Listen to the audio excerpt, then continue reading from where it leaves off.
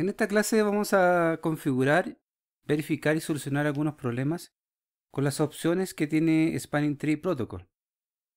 El objetivo de esta clase va a ser eh, configurar y verificar por FAST. Vamos a verificar también lo que es BPDU GAR. Y vamos a revisar algunos comandos para verificar y solucionar problemas de las opciones de Spanning Tree Protocol. Algunos conceptos que vamos a ver por FAST es una característica que es propietaria de Cisco, se configura en cada uno de los puertos de switch, pasa del estado de bloqueo al estado de reenvío inmediatamente, omitiendo los estados de transición de STP, es decir, no pasa por cada uno de los estados del STP en forma normal, sino que pasa del estado de bloqueo al de reenvío o de forwarding.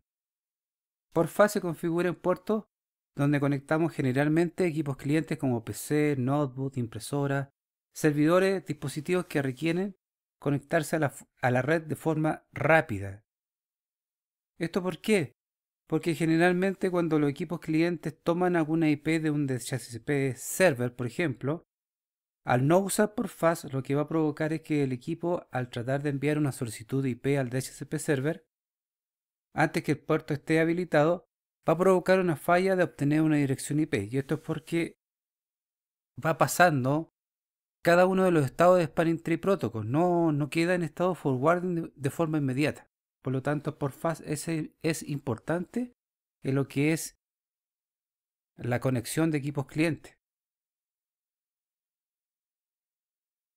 Se habilita por fase en cada uno de los puertos de switch con el comando spanning tree por fase. También podemos habilitar por fase en todos los puertos que están en el modo de acceso con el comando spanning tree por fast defaults en el modo de configuración global.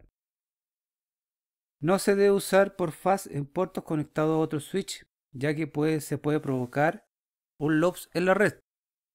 Justamente no se usa por fast en estos puertos que son generalmente troncales, debido a que es necesario que el árbol de switch realice toda la operación que debe hacer spanning tree para evitar de que haya loops en bucles de switch cerrados. Otro concepto, otra opción es el BDPU GAR, que lo que va a realizar este feature es que nos va a ayudar a prevenir de que conectemos, por ejemplo, un switch directo a un puerto que lo tenemos configurado como acceso.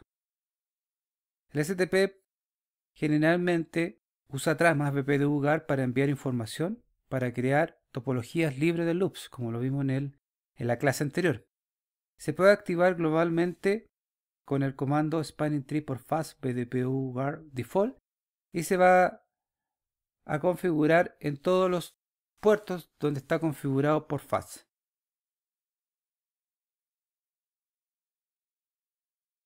Se puede activar el este comando también por puerto con el comando spanning tree pdu guard enable.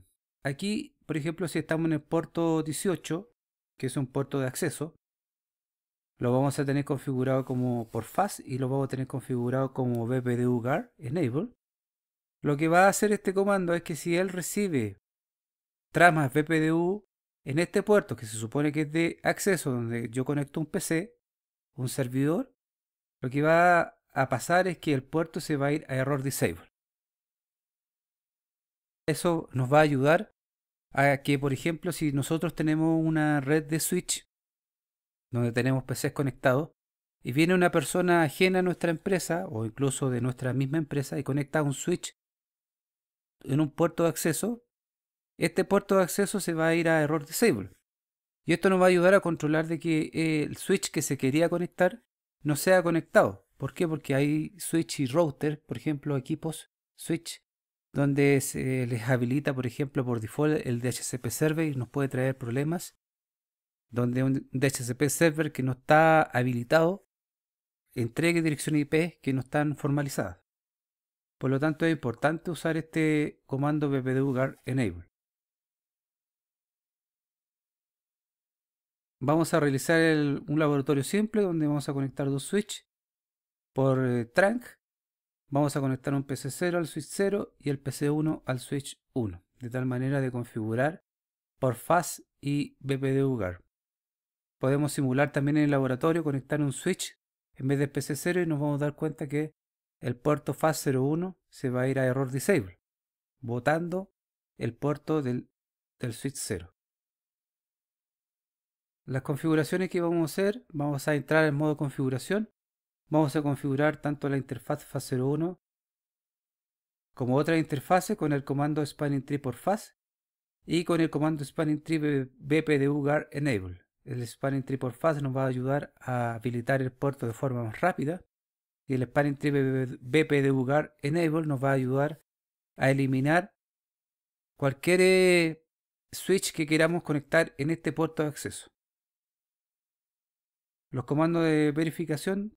Show spanning tree interface fast01 por fast, show spanning tree summary, show interface fast024.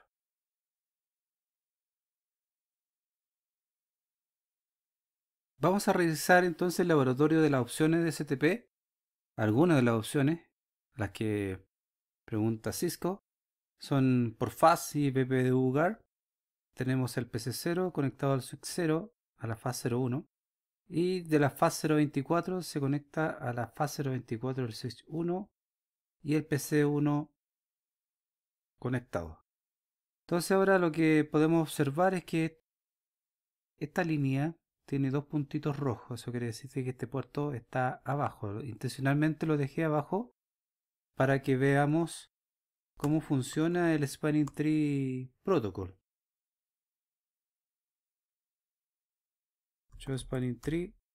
Vamos a ver que la fase 024 está dentro del, del funcionamiento Spanning Tree Protocol y la fase 01 no aparece porque el, puerto está shutdown.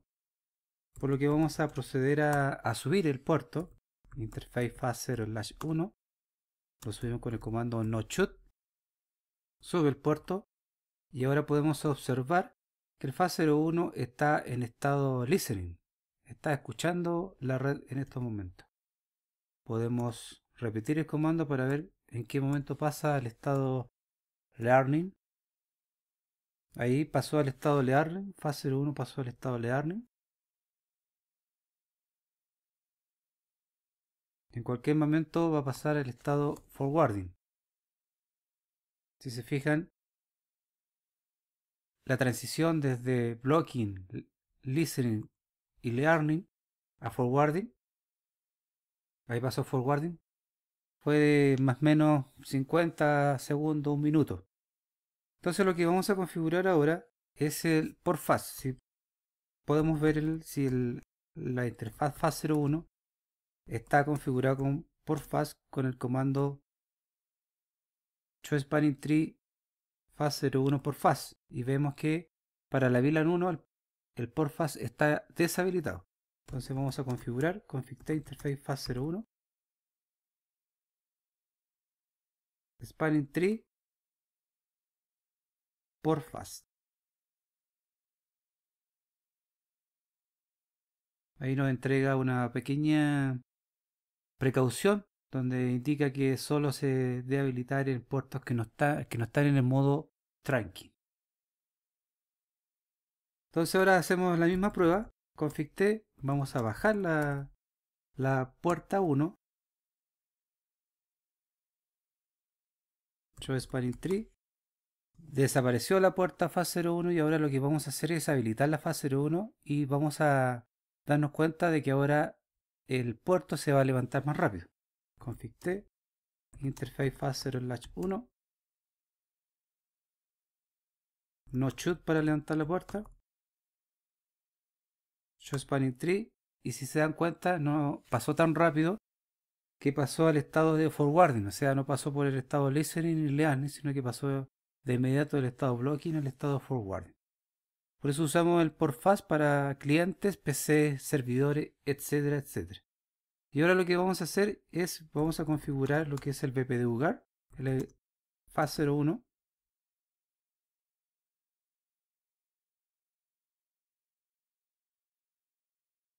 spanning tree, bpdu guard, donde acá nos indica, por ejemplo, que no acepta BPDU en esta interfaz, es decir, él no va a aceptar de que un switch se conecta a un puerto de acceso y le colocamos Enable.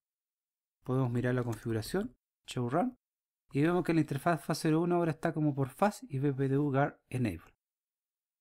La interfaz fase 024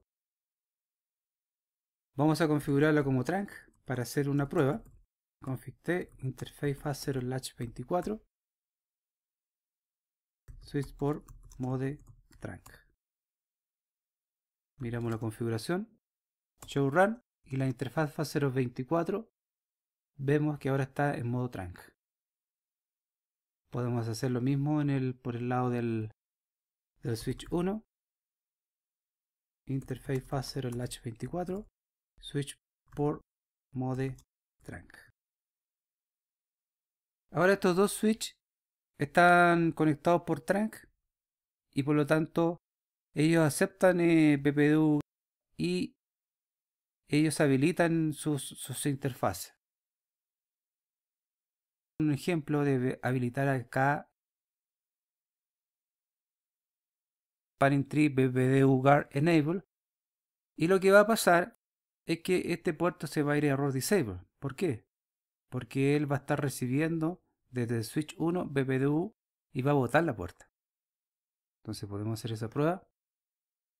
Config T. Interface fast 24, la que comunica con el switch 1. Spanning tree. BPDU guard enable. Y si se fijan, se fue el puerto abajo, se puso rojo acá y acá nos, indica que la interfase fase 24 se fue a down. ¿Por qué? Porque él recibió BPDU desde el switch 1 y deshabilitó la puerta. Show interface fase 0 latch 24. Podemos ver que está down. El line protocol is down y se fue error disable. Para sacarlo del error disable tenemos que botar, botar la puerta y después subirla. Sin antes desconfigurar el, el BPDU GAR en la interfaz fase 0 del Latch 24. Spanning Tree, BPDU GAR, Disable. Miramos la configuración. Fase 24 ya no está el BPDU GAR Enable. Y para subir la puerta, vamos a irnos a interfaz fase 0 Latch 24, no shoot, perdón, shoot primero y ahora no shoot para subir la puerta. Y si se dan cuenta, ahora se puso en naranja porque ahora está está eh, en, la etapa de spanning tree, está en, ahora en listening, después va a pasar a learning y después va a pasar a forwarding. Por lo tanto, las opciones son eh, buenas en el sentido de que van a ser opciones de seguridad y de aumentar o de mejorar la comunicación o la conexión de equipos clientes como PC, servidores, etc.